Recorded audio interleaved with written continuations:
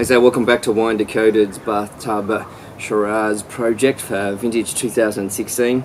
We've just been talking about whole bunches in ferments, but one of the other things that we're doing every day is tasting, tasting, tasting. So we taste the skins, we taste the whole fruit, but we also taste the liquid from the ferment. So we've got the three ferments lined up here. What we've got is the whole bunch here.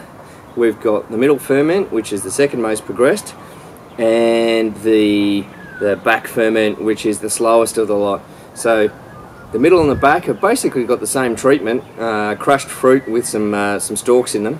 Because of the way we ended up bucketing it in a little bit randomly the middle ferment's got a little bit more liquid this one's got a little bit more solids. We're not too fussed about that at the moment. But what we want to do now is taste. So we want to taste um, yeah for problems but really more importantly for us to get a bit of an idea of how the ferments are progressing, how the tannins and the flavours are extracting, uh, and give us some guidance on how we might just gently guide these ferments over the next few days. Whether we pump them over a lot more, whether we plunge them a bit more to get some more extraction out of them, or whether we do a little bit less. Um, also with these particular two ferments with the tea bags of stalks in them, whether we say, hey, let's pull those tea bags of stalks out and uh, and and then uh, get rid of those. So those tea bags of stalks, if you remember, we got some big muslin cloth, put a couple of buckets of stalks in the middle of it, wrapped it all up, so that we could get some of the impact of those stalks in the uh, in the wine, but also choose the timing of when we pull those stalks out and get rid of them, just in case they start to impart too much bitterness or hardness. We want the spice from them.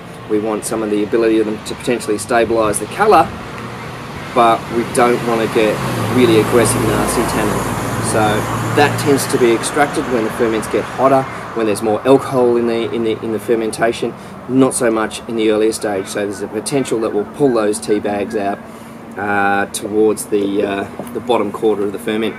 So let's have a look. We'll start with the uh, the whole bunch. Again, we've poured it into a glass and allowed it to settle. So we've got the little bits of grit out of the uh, out of the liquid. Makes it easier for us to assess the texture of the wine without the impact of the solid component which at the end of the day won't be in the finished product. So I'm not going to swell it too much. I'm just going to be concentrating on texture initially so and, and how that tannin's progressing. So we'll have a quick taste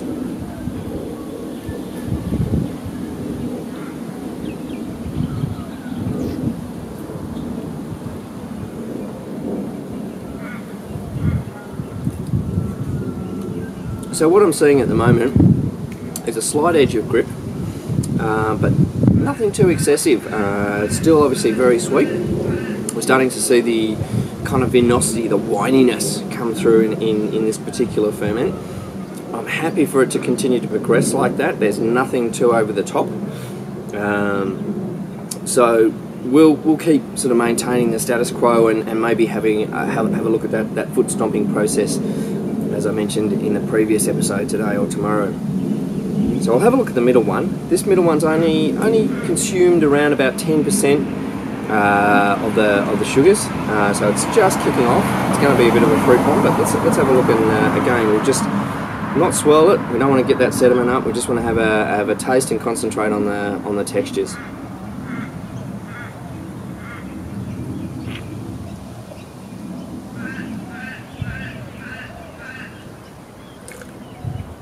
Okay, so this one, I wish you guys could taste this, and that's something we're planning to sort of really work on for next year. But still very, very soft and supple. Um, picked up some good colour. One of the things that I'm really noticing, just even in the glass still, is uh, a bit of reduction. So the yeast in there are getting stressed and they're starting to produce a little bit of hydrogen sulfide. Remember, this one is actually a natural ferment. Uh, so it's, it's just relying on the native indigenous uh, microflora, the bugs, uh, to ferment it. Um, they're obviously struggling a little bit and starting to produce a little bit of hydrogen sulfide. Uh, so it smells like rotten egg gas uh, very early on in the ferment.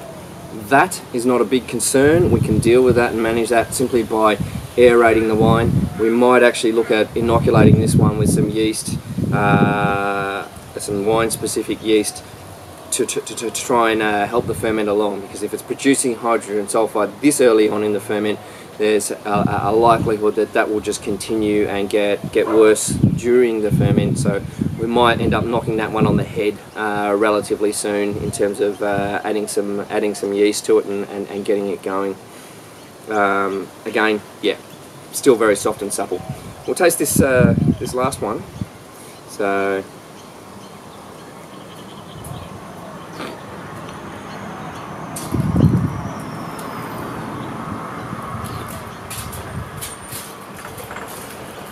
So that that is actually um, looking quite good as well. Interestingly, I'm starting to see some chewy tannin come in there, and, and it's only really just kicked off ferment. So we are going to have to be really cautious of how we extract tannin from these uh, these grapes. Uh, Dylan from Seville, who's seen this fruit before, uh, indicated that they, they can get quite tannic and, uh, and tough quickly, so you have to be uh, be careful, and, and I'm starting to see that already. Um, what we might be looking at doing is uh, starting to progress the ferment uh, uh, on uh, on skins a little bit uh, a little bit faster uh, to to perhaps help get that extraction done. We'll be very very careful with these stalk tea bags. We might even actually look at some seed extraction over time to to get rid of the seeds, which can also impart some some tannin and affect the mouth feel.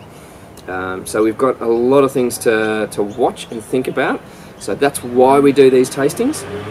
It's really important that we do them on a, on a consistent basis so we can react uh, appropriately um, when the wines tell us something needs to be done. So um, last thing I'd like to say is that I'm really quite happy that the mid-palate fruit weight, so the, the, the, the, the depth of fruit flavour in the middle of my palate. Is coming through in these wines and it, it, was something that I was a little bit worried about just tasting the fruit uh, on, on its own. So it's good to see that that's coming through and uh, I think we're going to have a, a, wine loaded with yumminess. So I'm pretty pretty excited about the way these are looking. Uh, thanks again for, for watching a wine decoded session and we'll, uh, we'll catch up with you on the next round. Cheers. Need more yumminess? Come and join us at winedecoded.com.au